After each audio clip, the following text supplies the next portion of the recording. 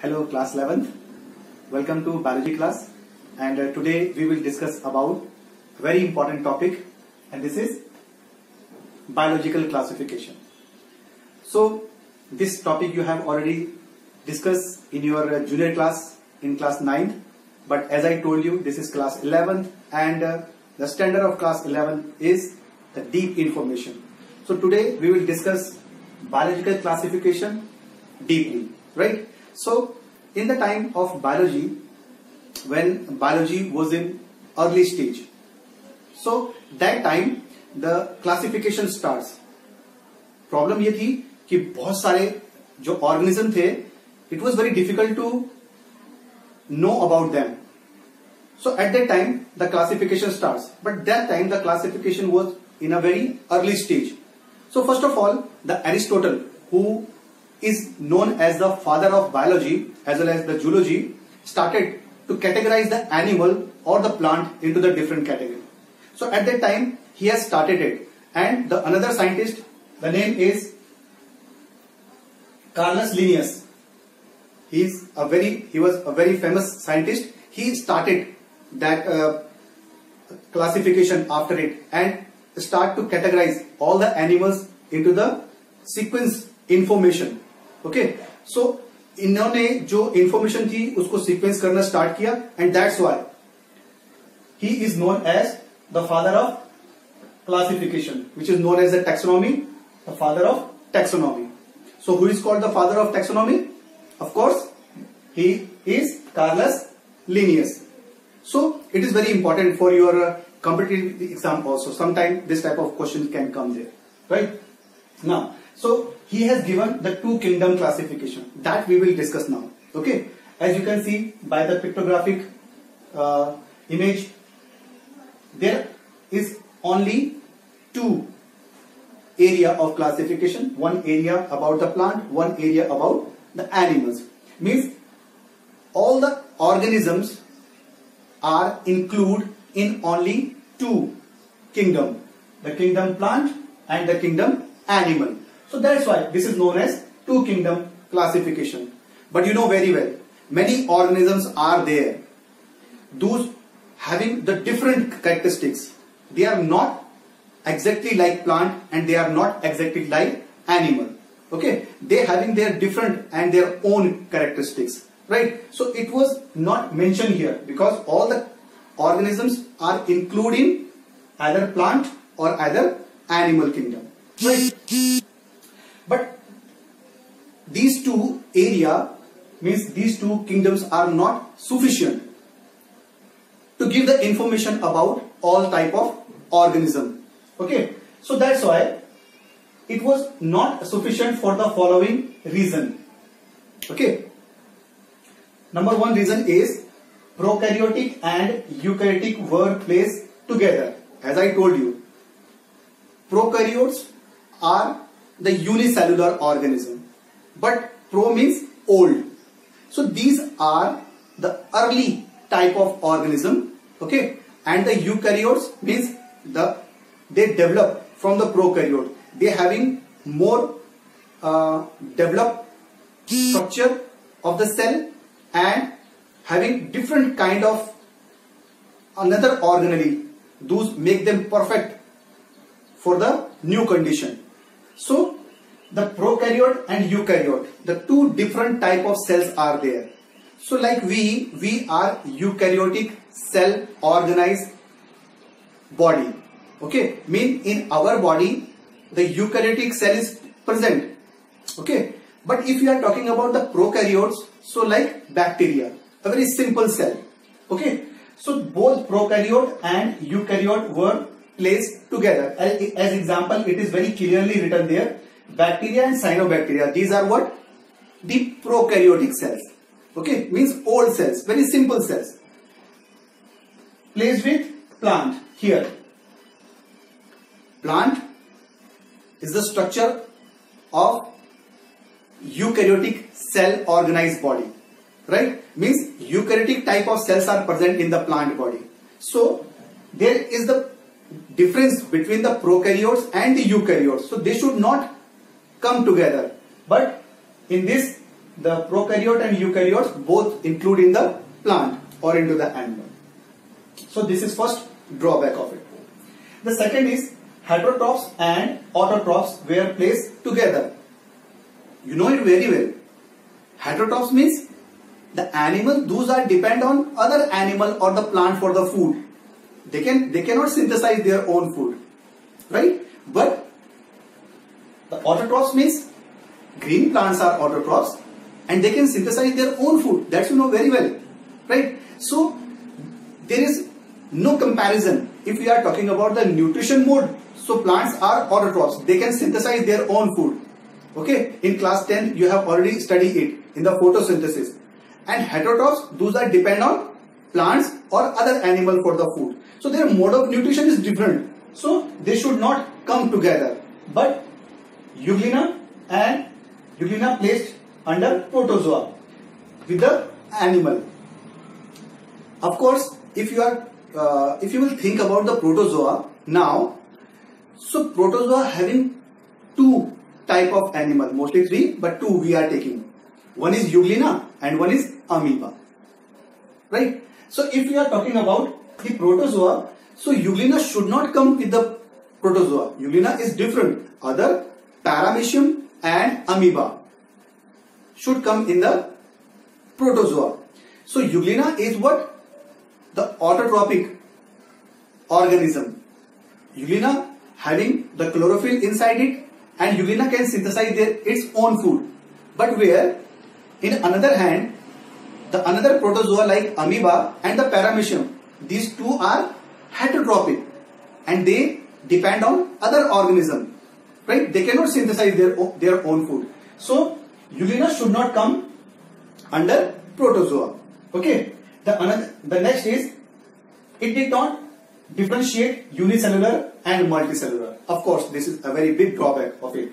Okay, because it, it should be very clear the organism is unicellular or the organism is multicellular. But this two kingdom classification has not explained it very clearly.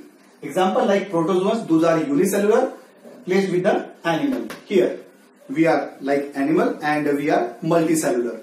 Okay, so the unicellular and multicellular should not come together for the classification right so this is the two kingdom classification now you got about it who has given it what is it and what are the drawbacks of the two kingdom classification right now after two kingdom classification we will reach to the next three kingdom classification although your NCERT book has mentioned only two kingdom classification and five kingdom classification. But it is very important to understand about the development of classification, the development of taxonomy, biology, right? So that's why I'm explaining this three kingdom classification after two kingdom classification. Okay? So in three kingdom classification, it is given by Ernest Mayr. Is the name of scientist who has proposed a new kingdom here. That is Protista. Actually, the problem was with the two kingdom classification. They have not explained exactly about the uh, sequence of the evolution. Okay, so the plant and animals were very clear here, but the organism those are not coming under plant and animal. In three kingdom classification those all animals include in the protista. Okay so now it become three kingdom classification. Who proposed it ernest mayr when in 1866 okay ernest mayr was also known as the darwin of 20th century okay you, you know about the Darwin very well. So he was known as the Darwin of 20th century. Okay. And he has given one concept. The concept name was biological concept of species. Who has given this concept? Ernest Mayr. And what was the concept? The biological concept of species. Right? what was inside the biological concept of species? Actually, Ernest Mayr was the first scientist who told it about. The species is the group of organism which can interbreed. Okay? Means the organism which in one species can interbreed with each other. So this is the concept of biological concept of species given by Ernest Mayr. Okay. Now what was the drawback of uh, three kingdom classification? The drawback is he has not given the place to the single cell eukaryotes. Okay, oh, sorry, single cell prokaryotes because uh, the protista are the single cell eukaryotes that we know very well. Okay, I am focusing this eukaryotes because two type of single cell organisms are present in the living world. Protista, single cell eukaryotes and the bacteria, single cell prokaryotes. So in this three kingdom of classification, there is no place for the single cell prokaryotic organism, right? The protista, single cell eukaryotes are here. Plants are eukaryotes, animals are eukaryotes. Means the three kingdom classification was completely focusing about the eukaryotes. But there is no place for the prokaryotic organism like bacteria.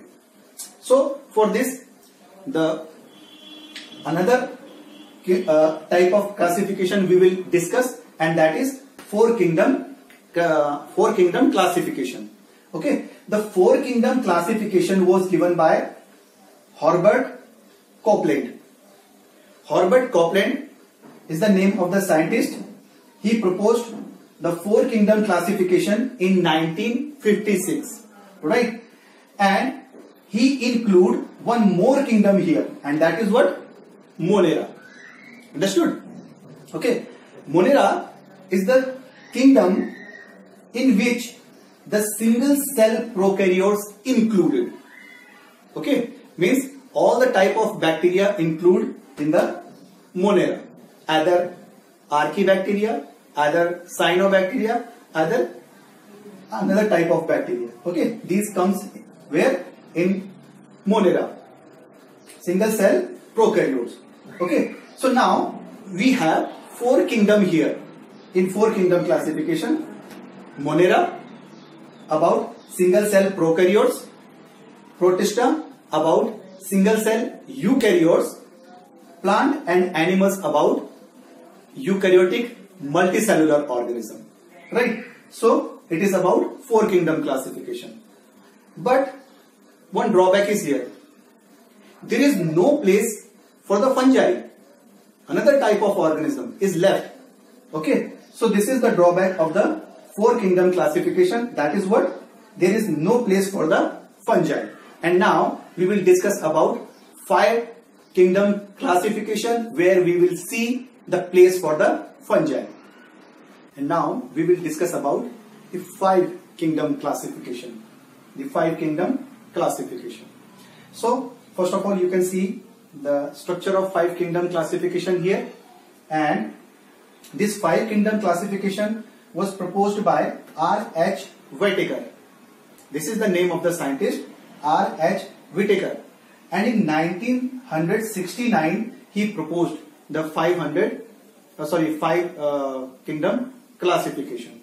Okay? This five kingdom classification was based on cell structure and organization of the organism, mode of nutrition of the organism, phylogenetic relationships of the organism and the mode of reproduction of the organism. So these were the basic criteria in which uh, he proposed the five kingdom classification. So what is the speciality of the five kingdom classification? This is the fungi. R.H. Whittaker has given the place to the fungi in the classification. Okay. So before it in four kingdom classification I taught you about the Monera, Protista, Plantae and Animalia was there. But what was the drawback of the four kingdom classification? They have not given the place to the fungi. Okay. So here you can see the place for the fungi. So let's start the five kingdom classification because it is also given in your uh, NCERT book. So that's why uh, the two kingdom classification and the five kingdom classification become very important for you, right? So in Monera, which is the foundation of the classification, so the type of organism, those were prokaryotic cell, single cell, unicellular, they having the power of absorption but as well as some monerans were having the power of photosynthesis right so this is the mode of nutrition some can absorb the food from surrounding where some can synthesize their own food are included in the monerans they are motile or non-motile means some can stationary through the whole life and some can move from one place to another place okay? By their flagella okay? So and these are these uh, reproduce asexually okay? So this is the mode of reproduction. Now let's talk about the protista. They are eukaryotic organism unicellular and multicellular. Both type of organism comes inside the protista. Some are holozoic as i told you in protozoan like amoeba having the mode of nutrition holozoic where some are photosynthetic like euglena. Okay? And they reproduce by two mode, sexual mode and asexual mode. You, you know about plantae, eukaryotic multicellular organism. They are non-motile, can't move from one place to another place.